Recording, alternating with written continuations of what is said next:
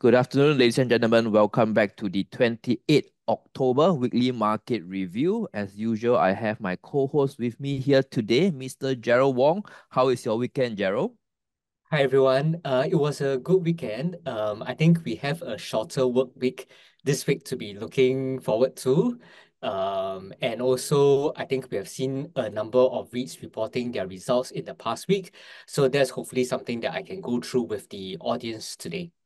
Definitely, I think a lot of our audience are concerned that the yields in the US is slightly getting a bit higher, and we saw some pullbacks in the REITs. So we look forward to your updates today. And of course, we have the big Tesla earnings last week, which caused the 20 2% jump in Tesla share price. And this week, we are looking at the Magnificent Seven with Apple, Microsoft, and Google all reporting their earnings this week. And of course, we also have a holiday on Thursday before we come back on Friday for the non-farm payroll data. So an exciting week ahead, but I shouldn't drag the time for now. And I'll let Gerald continue with the updates for this week. Okay, thanks, Sunny. Um, so the usual disclaimer that today's sharing is for information purposes only and should not be taken to be financial advice. Uh, we have a upcoming Ask SIAS on the 20th of November. So if you couldn't catch Sunny in last month's session and you have uh, various charts that you want him to be helping to analyze, uh, do join us for the upcoming Ask SIAS on 20th of November. If you find the weekly market review helpful, do leave us a review on Google. And if you are wondering how you can join SIAS as a member, you can scan this QR code or go to the website sias.org.sg slash membership. And as a SIAS member, you'll be able to access various online resources as well as investor education programs. Okay, so uh, what did we see in the past week? Uh, the S&P 500 fell by 1%. Uh, so this marks its first weekly decline after six consecutive weeks of gains. But within this uh, fall in the S&P 500, uh, we see some divergence in terms of the performance of various stocks as we go into the US earnings season.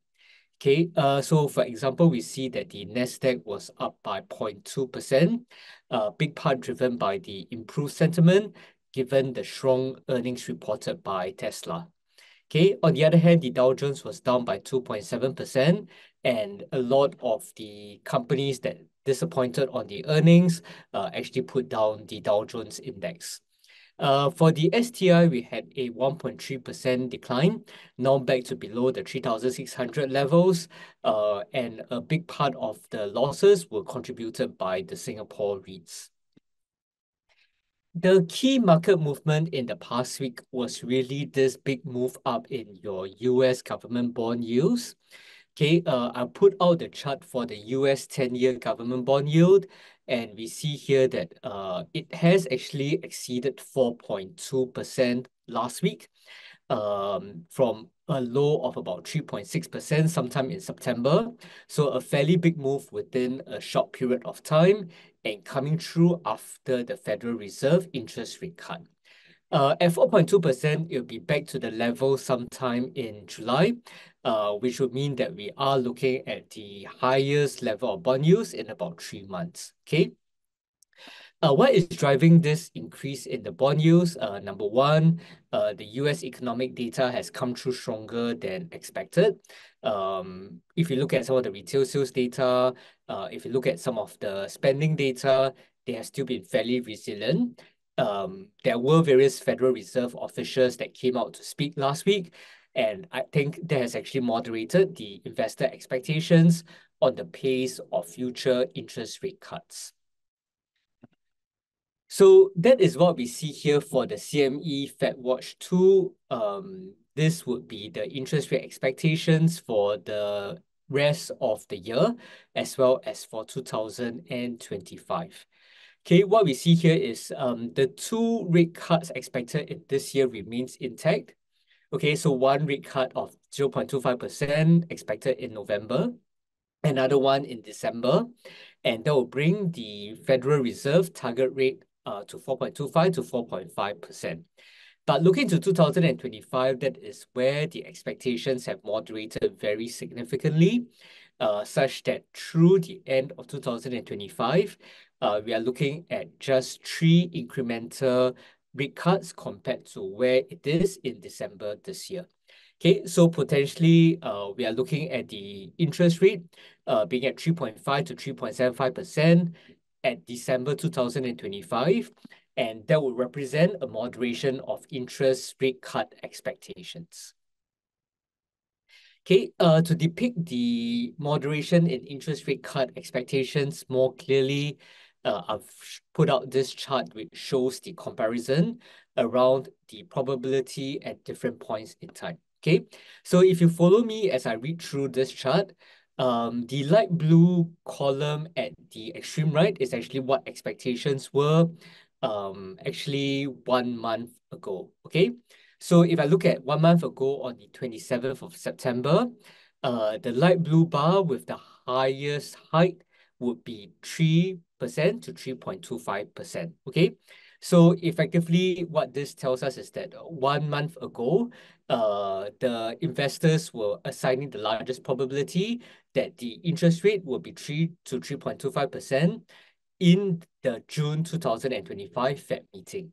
Okay, but if I were to look at current expectations, which is the dark blue line uh, on the extreme left, then the one with the highest probability is actually 3.75 to 4%. Okay, so what this means is that within the space of one month, investors have moderated their expectations of the rate cuts by about 0.75%, or in other words, uh, there were three more rate cuts expected in one month ago on 27th of September, and that has actually been reduced very significantly over the past one month.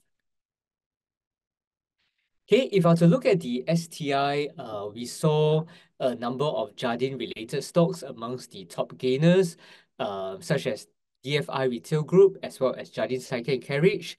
Uh, SATS also did very well uh, following a broker upgrade. Um, so those were the names that outperformed the Straits Times Index. Okay, if you were to look at the top losers, uh, what we see here would be a number of REITs uh, including Mapletree Logistics Trust, uh, CapitaLand Integrated Commercial Trust, as well as Frasers Logistics and Commercial Trust. Okay, so um, if we were to look at the uh, top movers amongst the REITs, um, we have the data center REITs that actually did better than a basket of Singapore REITs. Uh, that is due to the better than expected earnings by some of these data center REITs, such as Keppel DC REIT, as well as Digital Core REIT. Okay, on the other hand, uh, we saw a number of REITs that reported their earnings, uh, including Mapletree Pan Asia Commercial Trust, uh, that actually saw their share prices falling after that. So I'll go through some of these names, uh, including Mapletree Logistics Trust and Mapletree Pan Asia Commercial Trust in more detail. Okay, I'll start with uh, Mapletree Logistics Trust. Uh, it is one of the names that is very wide, widely followed by quite a number of investors. Um, and the company provided um, their earnings update last week. So what we see for Mapletree Logistics Trust, uh, the share price actually rebounded uh, from August in anticipation of the Fed rate cuts.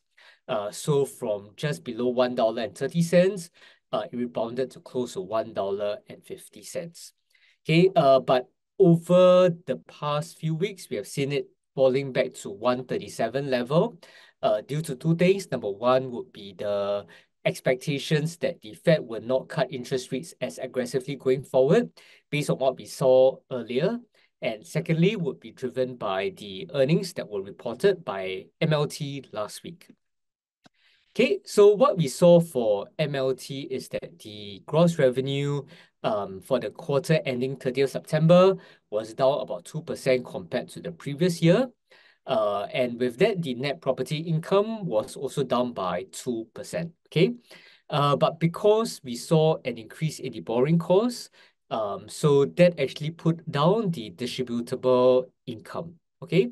So overall, we are looking at a 10.6% decline in the DPU in the quarter ending 30th September uh, to 2.027 cents. Okay, uh, if you look at the performance of the assets, uh, the occupancy rate uh, improved slightly to 96%. Okay, so compared to what it was in June, which was 95.7%, uh, that is actually an improvement. But across the portfolio, uh, once again, we see a divergence in terms of the performance.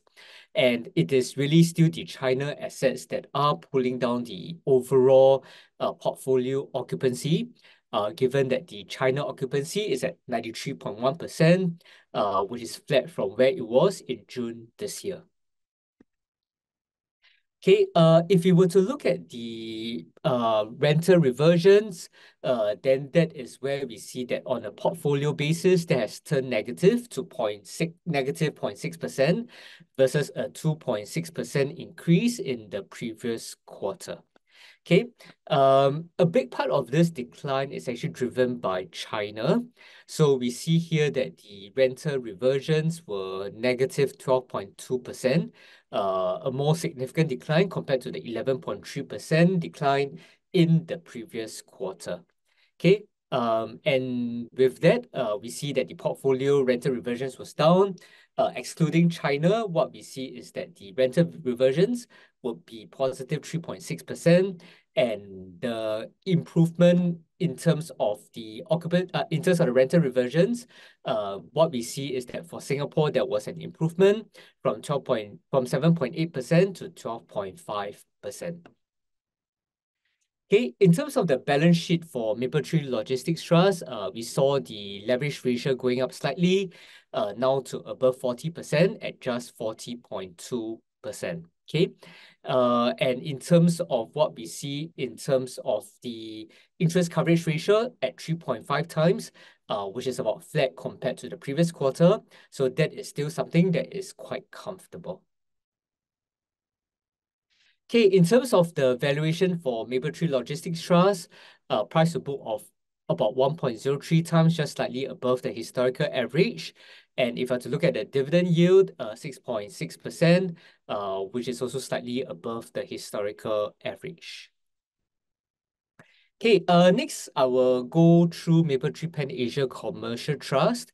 Uh, this is a REIT where we see the same trend compared to Mapletree Logistics Trust, but in a more significant move uh, in anticipation of the Fed rate cut uh, moving from about 125 per share to above 150 per share, uh, before now declining to $1.34 uh, with a sharp fall after the most recent earnings report.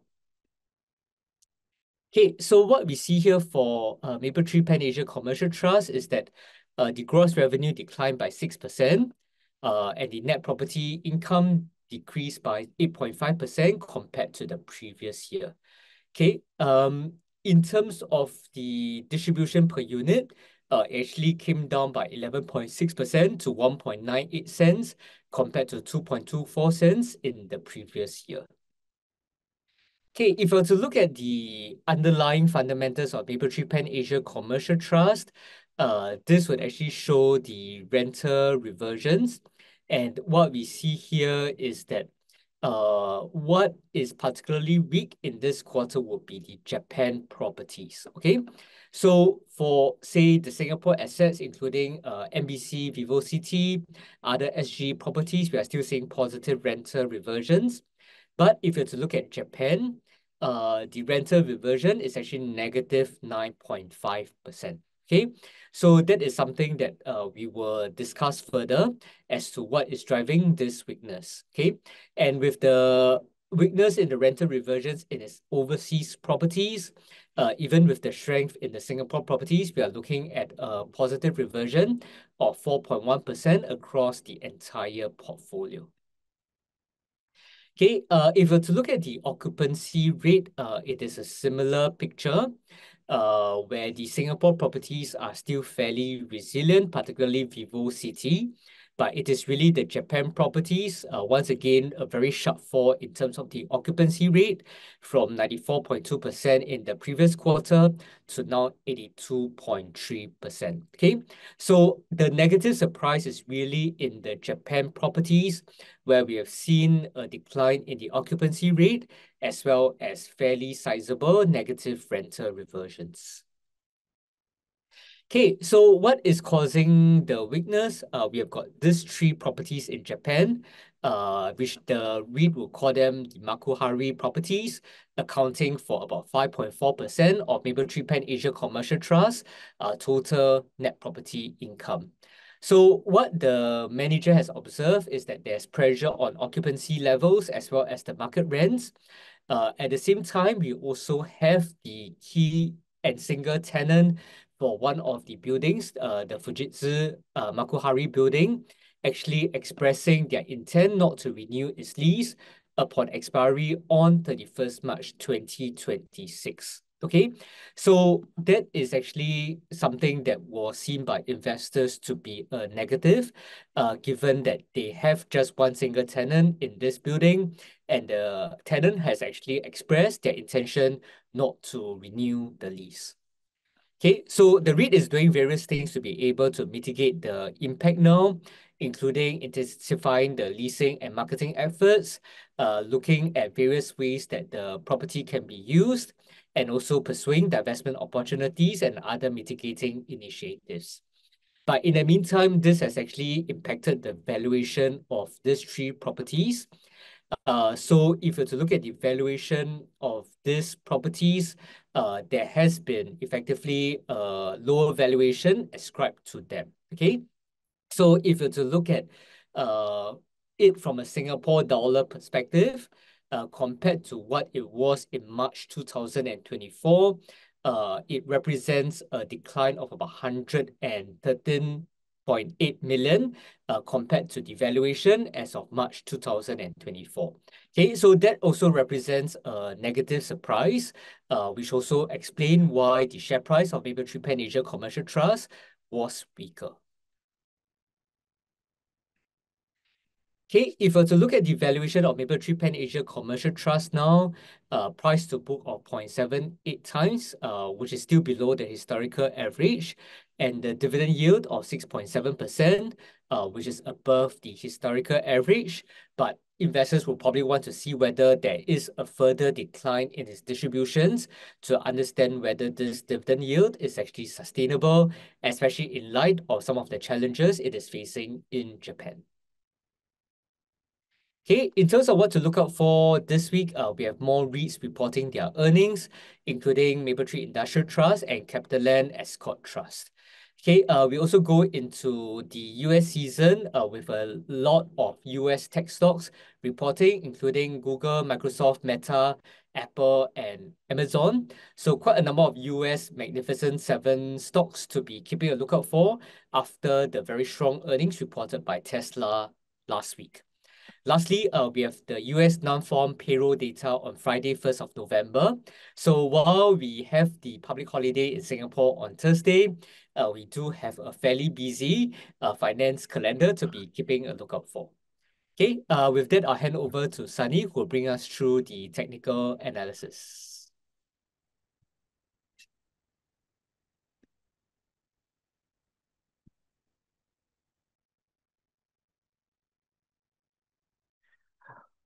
Okay, thanks Gerald for the updates on some of the Singapore REITs counter that should give the investor some clarity over what to expect because of a bit of a uh, pick up tick up in the uh, US uh, yields. So just to wrap up uh, Gerald um, um, presentation earlier. So we are expecting a 50 basis point cut spread out uh, through November and December for the rest of the year. So we are expecting 50 basis point cut uh, from the US Fed for the next uh, spread over the next two months.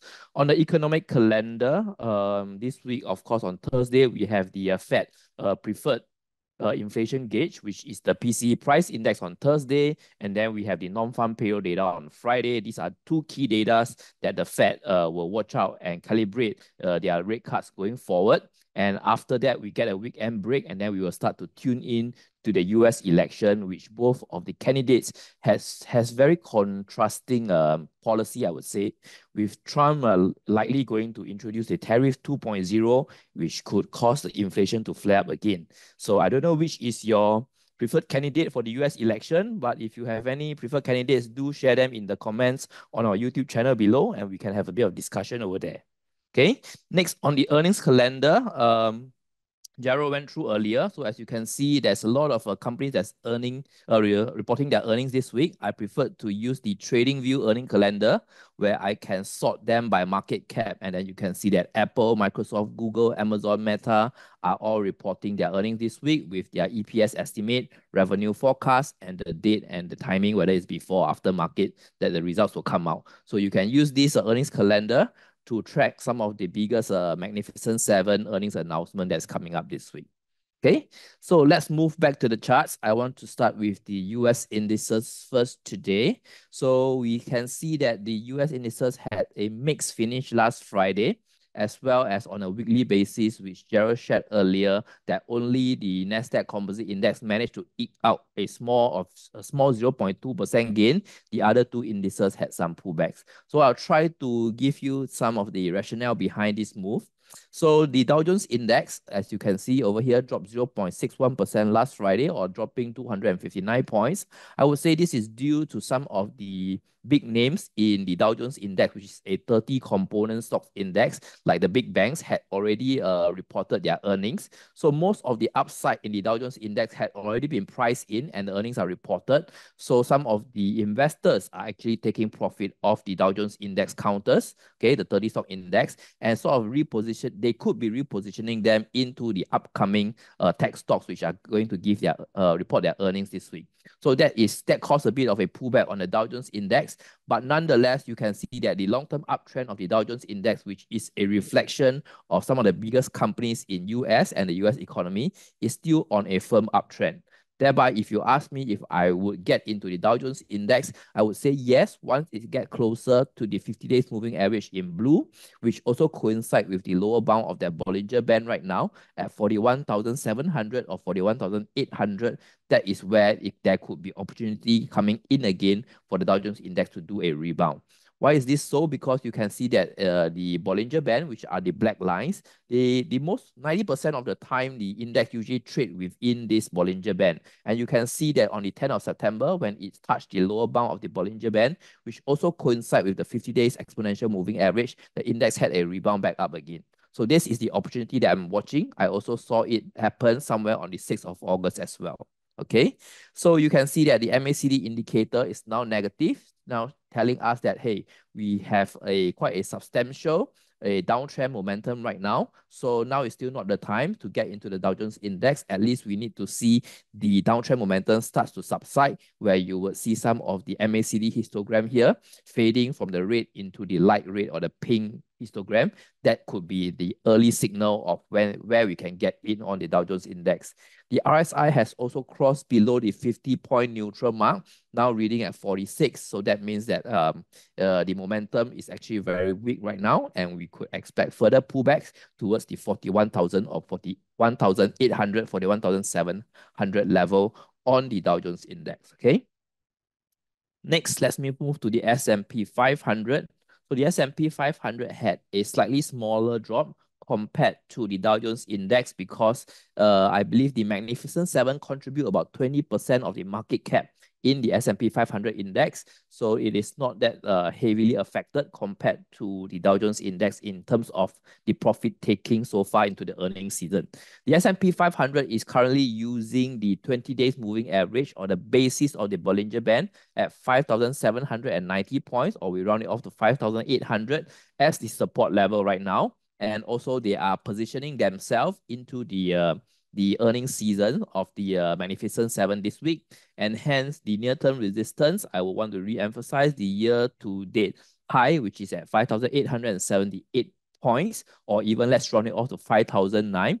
If we get a a earnings result that is uh, meeting analyst expectation, or I would say have to be above analyst expectation, we could be testing the 5,900 level, which is also the upper bound of the Bollinger Band right now at 5,899. Okay, so I don't think it will fall uh, towards the 50 days moving average so soon, unless the earnings of the Mag 7 actually miss uh, greatly. But if that is the case, I'm still I still feel that the, the tech sector or the Mag 7 will continue to grow going forward uh, into next year, 2025. And that could mean an opportunity to accumulate again on the S&P 500 index. But looking at the earnings season so far, more than 70% of the companies that have reported so far has uh, met or have some uh, earning surprise towards the upside of their EPS, that could mean that uh, we are going into still a strong earning season, and hence I'm more in favor of the S&P 500 challenging the 5,900 resistance level before we see a pullback again after the Magnificent Seven earnings, which we will go into the 5th November election, and that could push down the S&P 500 if it's going to challenge the upper resistance of 5,900. Okay. Indicator wise, MACD is negative, so negative momentum is the telling us it's coming down.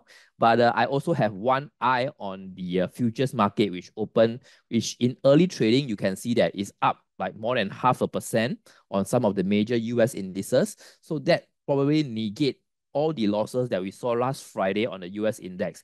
And investors are positioning very strongly into the Mag 7 earning in the early trading of the US futures index. Okay. So the RSI is now at 56, so it's still above the 50 point neutral mark. So thereby it still have a bit of a positive momentum, six point above the 50 neutral point mark. So this is a contradicting to the MACD indicator. So when we have indicators that contradict each other, that would means that um, the trend is uncertain or, or negated or neutralized. So I would say that it will be the 20 days moving average at 5,800 points to 5,900 points. This is the range that we will be likely be trading in for the S&P 500 for this week into the earnings of the Mag 7. Lastly, the NASDAQ index, NASDAQ composite index, okay? So we saw a bit of jump on the NASDAQ composite index, especially on Friday itself. It's jumped about 103 points, which is 0.56%. And for the week, it jumped 0.2%. So you can see that we actually had a new all-time high on last Friday, but we did not manage to have an all-time close. Some of investors uh, actually take some profit off after we hit the all-time high level, which is um, expected because uh, there will always be investors or traders uh, placing their sell order into the into the previous all-time high to take profit off the previous level that they missed. Okay, so the all-time high of the Nasdaq Composite Index stands at eighteen thousand six hundred and ninety points, which was achieved last Friday. And you can see that positioning themselves, the, the tick uptick in the Nasdaq Composite in, on Friday signifies that there is optimism of uh, investors or trader looking into the Mag 7 earnings this week. Okay, and you can see that the MACD indicator is uh, slightly negative. The is down by negative 9.97 point. That is the indication that uh, the momentum may not be very strong. But if I'm going to change it into the futures index, then you can see that um, the candlestick performance is actually very strong, but it is this is just the early part of trading. So uh, I would not say it is uh, it is has any significance unless we are getting it closer to the end of the day where we have the candle close for the confirmation. Okay, so uh, if you look at the RSI index, is at 60 point now, showing healthy momentum uh, around the 60 point level. So we can still have some uh, momentum that is in the Nasdaq Composite Index point now to push the index higher for a higher all-time high this week with the Mag 7 earnings. So MACD, I would say, is a neutral reading. It has been trending sideways for the past two weeks, I would say. And with slightly positive reading on the RSI, I am slightly positive on the Nasdaq Composite Index, hitting another all-time high, which could be testing the 18,700 level in the next two weeks. Okay, so next, let's move to the STI index. Okay, so STI index has been fairly neutral, I would say, in the past two weeks. We do have a jump last week, which we saw a 1.86% jump in the STI. But last week, uh, we saw a decline of about 1.3%, so giving up much of the gains that we saw in the previous week. So the all-time or the six-year high or the year-to-date high still stand at the 3,652 points. So we are about 1.5% away from that level right now. So will the STI continue to push up further? Uh, reiterating what I said last week, I think it is very challenging for the STI to retest the next highest level, which is around the 3,900 level. And that was the previous all-time high that we saw on the STI index. Uh, for STI to jump up to the next resistance level is actually quite difficult. So I think that uh, the STI would likely finish around the 3,600 and 50 points level towards the end of the year. Okay, the MACD indicator reading for the past two to three weeks has been uh has been negative and has been trending downwards, thereby applying more pressure on the STI index in a downward cycle. And the RSI, as you can see, is closer to the 50 point neutral mark, showing telling us that momentum is uh, slightly weak right now still above 50 points, but very close to it. So I would believe that this sort of a range bound trading pattern on the STI will likely continue and the support level could come in the lower bound of the Bollinger Band at 3595, which is around 3006, and with the 50 days moving average catching up at uh, 3543 points. Okay, so 3550 would be the support for the STI, targeting the year to date, uh, year to date high at 3,652 points. That will give us a range of 100 point trading in the STI index for the next few weeks. Okay, but I think the attention will be on the US this week because we have a short trading week as well. So I do not expect much on the STI movement for this week. So this is uh, what I observed in the market for this uh, last week and what I foresee next this week. So anything else we want to look out for, Gerald? Yes, I think it is really the US earnings season with the large cap tech stocks that are reporting this week that we'll be keeping a close lookout for. Uh, we had a number of the REITs reporting last week, and that continues through this week, and we see whether some of the REITs will be able to report better distributions in the third quarter of this year.